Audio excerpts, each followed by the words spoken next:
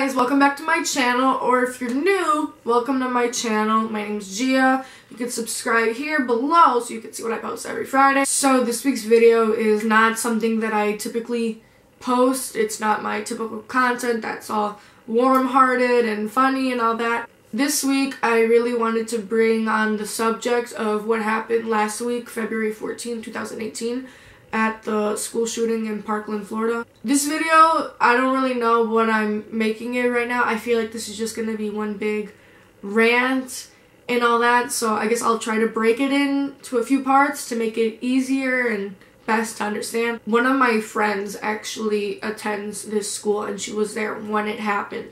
So this situation kind of gets a little more close to home for me, knowing that one of my friends was there. I feel like this whole thing is just getting way out of hand. So there's been 18 mass shootings in the United States this year alone. We're in February 2018. There's been 18 shootings in only two months. That's unacceptable.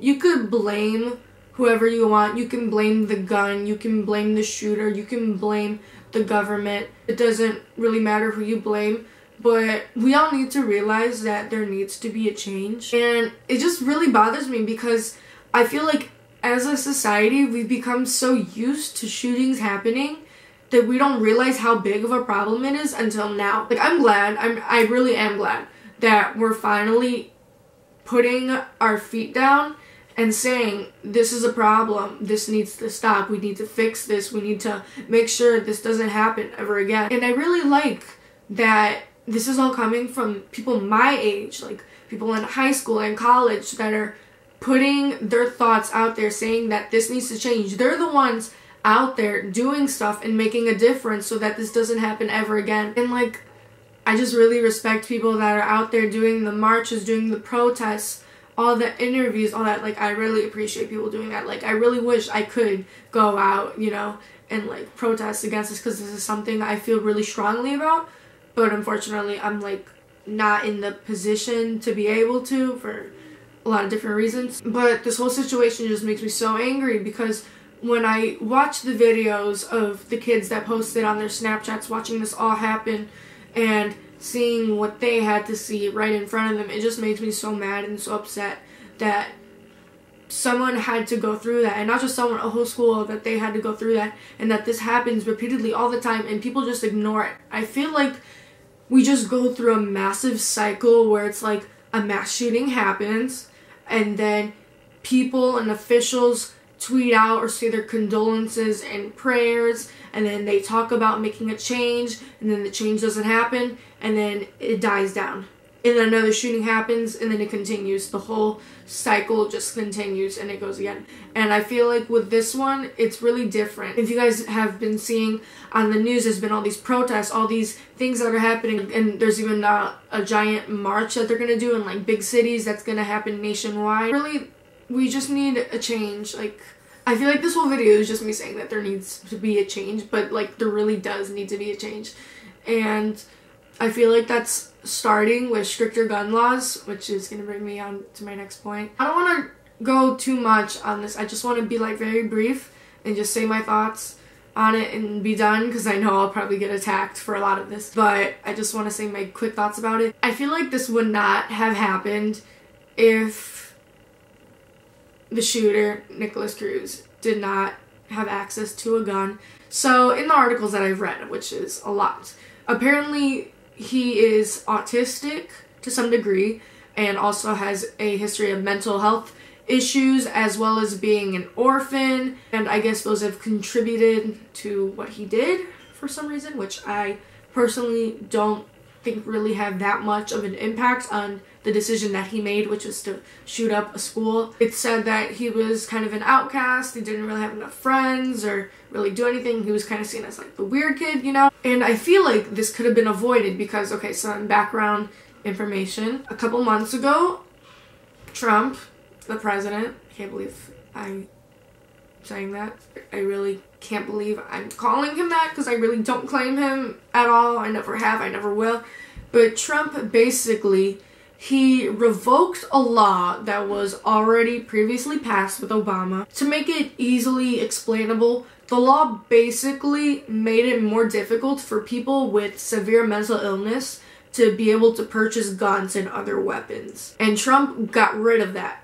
So it became easier for people with mental health issues to purchase guns and other deadly weapons, which I believe is how Nikolas was able to get his hands on an AR 15, which is also the same gun that was used in all the other shootings this year, and was able to do that attack.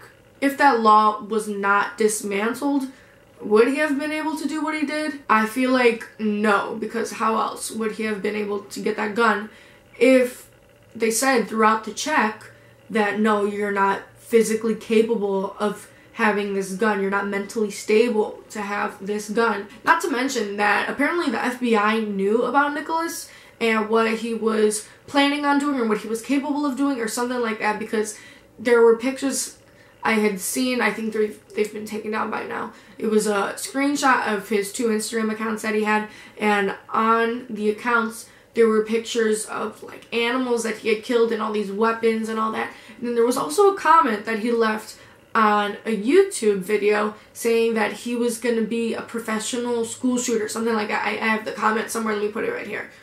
So, yeah, that's really crazy that they had all this information on him and it was even sent to the FBI, but they didn't do anything about it to stop it in advance. I think that's what's really messed up and that this could have avoided a lot of what happened and maybe even the whole thing. I'm to move on from him and I'm to talk about guns. Okay, I'm to keep this really short because I know I'm to have a lot of people talking about like what the issue really is, whatever. So, my personal belief is a mix of guns are the issue and also the people who are getting the guns is the issue. I'm a little bit of both. Mine is behind the shooter and the thing they use to shoot. So, I'm going to start with the gun side. Personally, I don't think that it is required or that it should be legal for someone to have access to an AR-15, something of that big degree, I guess I could say, something that can do that much destruction because I believe these shoot around like 45 rounds a minute, something like that. I could be wrong. Like it's those guns that you see in movies that they could just keep like shooting and shooting and shooting and shooting and it's like they never run out of ammo. It's like one of those guns, okay? Is it really necessary for people normal, everyday people to have access to those? I think no. I think it's dangerous, and also because all of the shootings that have happened this year have been because of that gun. Isn't it saying kind of like a sign that maybe we should get rid of them and not make them accessible to the public? That's what I'm saying on it. I just feel like it should be much harder to get guns, so we should have better gun restrictions so it should be a lot harder to get a gun. We need to get through more background checks, more history checks of a person, you know? Because when you think about it, like for example, when you go and you get a car or whatever, when you get a car, you need to take a test. You need to take a written test, a driver's test. They check who you are with two forms of ID. They need you to they need to make sure that you're able to see properly. They do your eyesight testing. They do all this, make sure you know knowledge about about um, what a car does, how to drive it, and all that, what to do. They do all that, and then they pass you or they fail you. And I feel like we don't do enough of that with guns. I feel like it's an easy pass because it is a right that we have in the United States. It's the Second Amendment, the right to bear arms, and I feel like because it is a written right in the Constitution, people feel like they're obligated to get it no matter what, which I think isn't the case. Just because you have the right doesn't mean you're mentally stable or capable of obtaining one or having one. And that's my thought on that. Who do I think is at fault, the shooter or the weapon? I do think it's both. I think there is ways to responsibly have a gun, which is like if you use it in terms of self-defense, like if someone comes into your house and attempts to rob you or harm you or whatever, then I think it is acceptable to use it and kind of like I guess you know like hurt the robber but not kill them, you know, just to like defend yourself, you know? But that's usually a pistol. No one pulls out a an AK-47 or an AR-15 out of their, you know, nightstand and uses that, you know. and then you know, that's the only instance I could find where it'd be helpful. Where I don't see it is hunting personally. Okay, I know hunting's legal.